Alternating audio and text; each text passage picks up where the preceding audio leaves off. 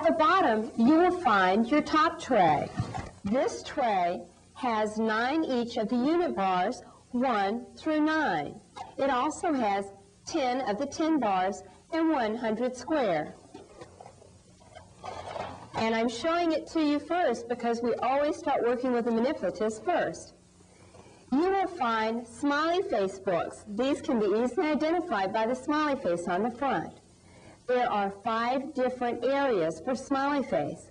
Counting, which is your place value, addition in brown, subtraction, multiplication, and division. There are 10 level 1 algebra books. Now you may think that's strange, but even young children enjoy starting out with algebra. In addition, you have the level 1 teacher's manual, which is coded to our level 1 books. Now you have the algebra for level 1, and so you will be working in that strand in this manual, and you can look ahead and see what will be coming up.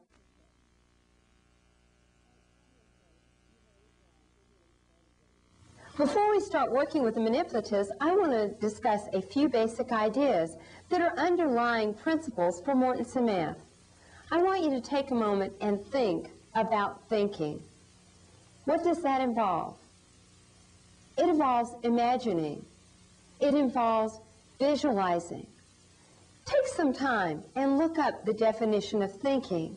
One definition I found was visualizing possibilities visualizing, imagining.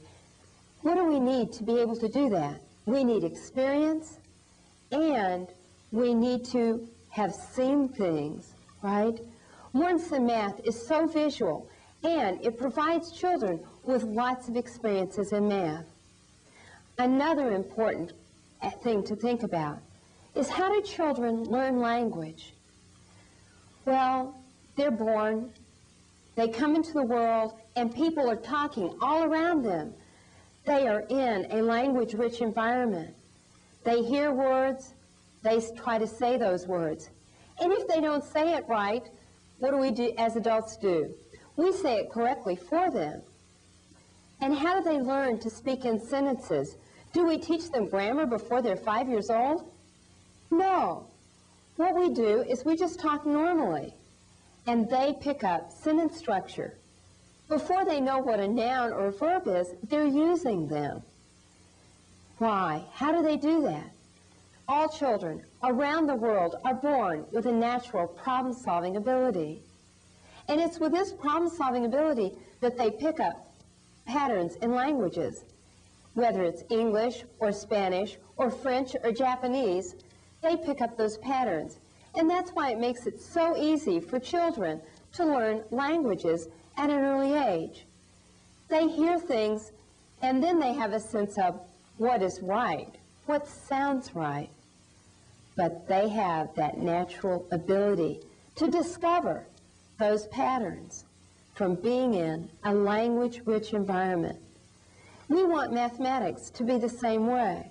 We want to give them the tools and to make it intellectually exciting for them so that they can discover the beauty and the patterns of mathematics.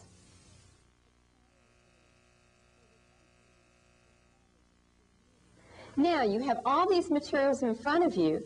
Let's talk about how you're going to start with children of different ages. With four to seven year olds, you will probably start them out working in the smiley face books, then doing some problems in algebra, and addition facts mastery, and saving the multiplication facts mastery until later. With 8 to 10-year-olds, you have a choice. You can start them in algebra or smiley face or addition or multiplication facts mastery because they've already been exposed to a lot of mathematics. The children 11 years old and up, you may want to start them out in the algebra or multiplication facts mastery. Then go back and work with a smiley face because algebra is just generalized arithmetic.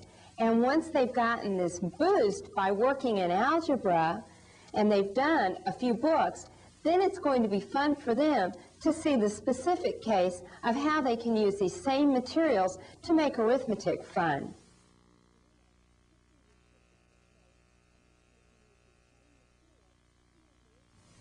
We are going to assume in this video that children already know how to count.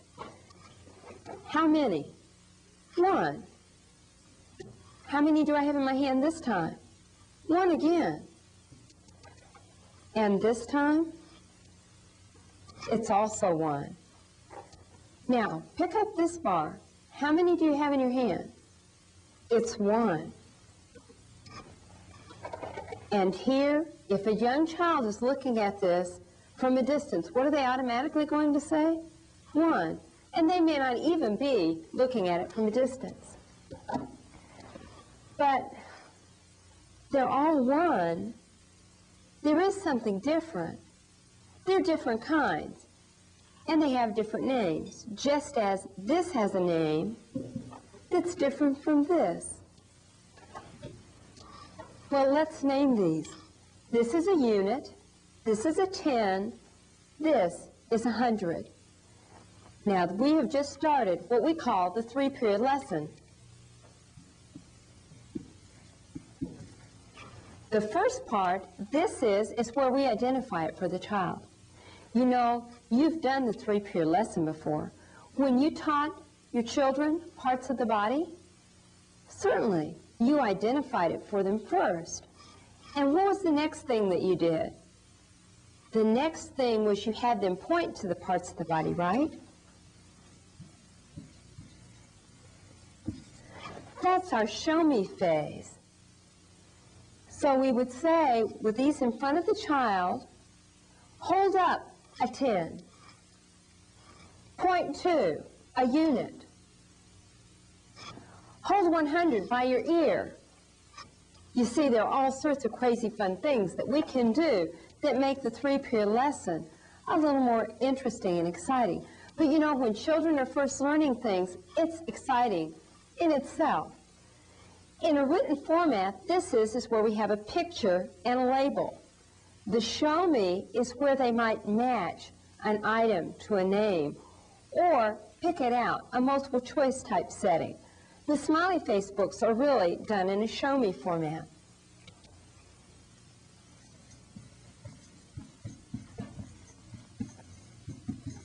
And the last part is what is this? This is where the child has heard the name in the this is and the show me parts of the lesson. Now the child has had an opportunity to internalize that, and now the child is asked to give the name. What is this? Hundred. What is this? Unit. What is this? Ten. If the child has any trouble at any part, what are you going to do? You just go back to the part before it. So if when you said, show me 10, the child pointed to this, you would say, this is a unit, this is 10, this is 100. Real simple, very easy. The same thing that they've been used to you're doing when they're learning. They're not dumb because they couldn't do that. They just hadn't had enough chance to hear those words and have them become familiar to them.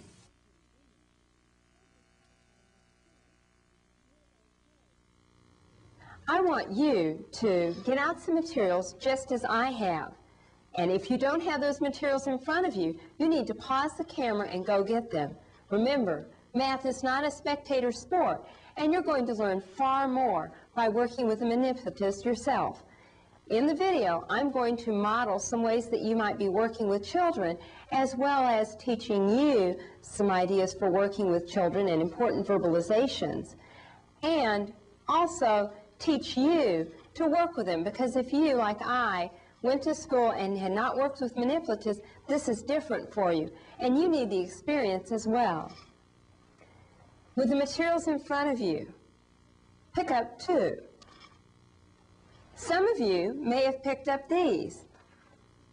Some other people may have picked up these, or you might imagine that a child might pick up these. Well, how can I get you to pick up what I want? You need to know what kind, right? Pick up two of the units kind. Very easy now. Pick up two of the tens kind right here. Pick up one of the hundreds kind. Here. Three of the tens kind. Here. And you see some ways that you can start working with older children in doing this type of problems. Now, let's clear this off and focus on these. You're working with a very young child at this point. Now, we're assuming that the child can count from 1 to 9. We need to make sure that the child is good at identifying this is 1, this is 2, this is 3. You can do all sorts of things with that. You might have a pile of these in one place in your home or in your classroom and ask the child to go get one or two or three units or five units or eight units. Just checking. They're going to have a good time doing that and showing you. You can do little fast races to see how fast they can gather those up and that type of thing as well. Now,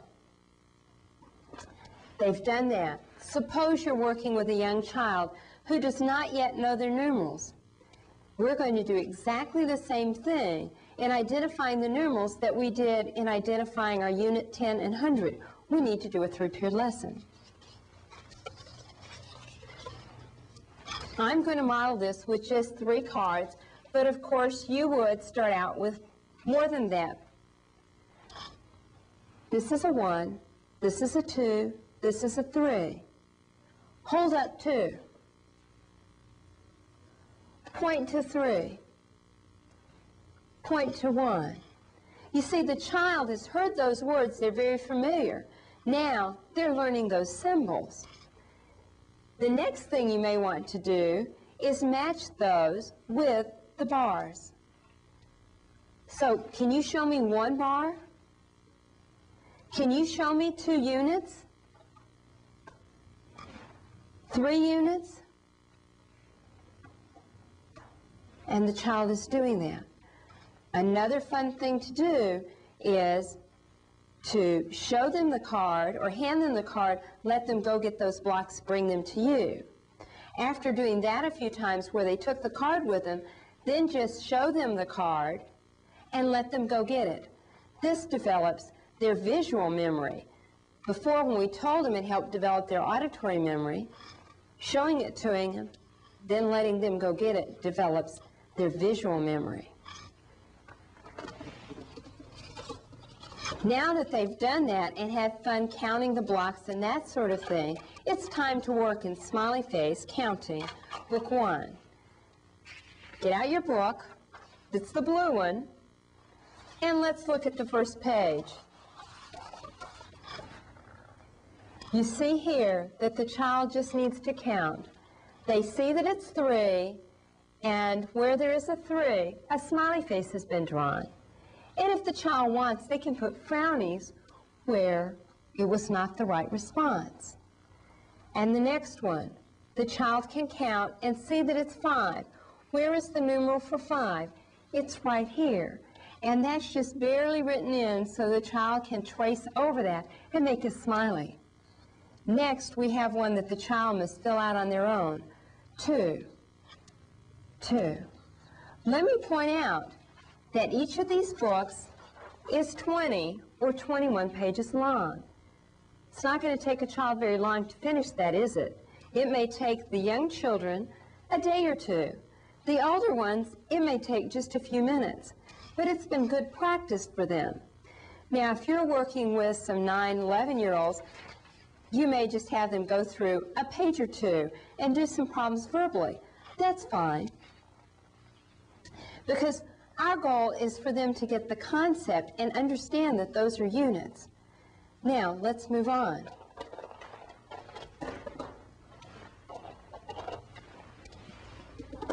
How many do I have? One, two, three, four. But what kind is that? It's the tens kind, and I need a way of showing that we put this zero here. Four with a zero tells us we have four. This tells us it's the tens kind. And we're going to refer to this as four tens. Later, after the child understands that, when they see that, we'll go through and we'll give them some new names. We could also call this 40. We could also call five tens 50. And you know what? They've heard those words before. They've used those words before. So now all they're doing is attaching a lot of meaning to some words that were just words that they could say probably in sequence. Now they have meaning. Now we're looking at smiley face counting, book two. What does the child need to do? First of all, they need to understand that these represent 10 bars. And then they just count. One, two, three. Three tens. This one is the way we write three tens, and we see a smiley face. The next problem. One, two. Two tens. We write two tens this way, and the smiley face is partially filled in for the student. Now, the next problem they do on their own. One, two, three, four tens, and it's right here. The child fills in the smiley face. Again, we can see how easy it is for the child to be successful.